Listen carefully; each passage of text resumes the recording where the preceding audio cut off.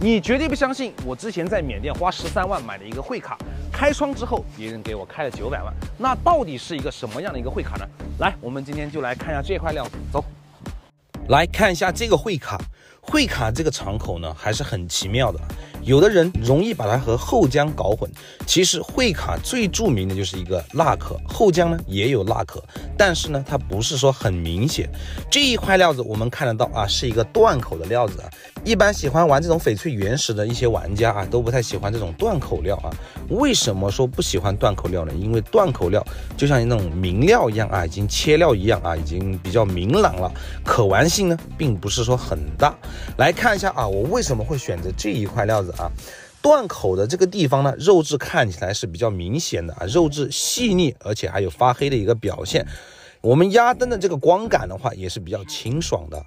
那开完窗呢，也是一样，肉质呢是不是特别的一个清爽，带点棉，但是这个棉的话还是属于一个意境棉，有胶感。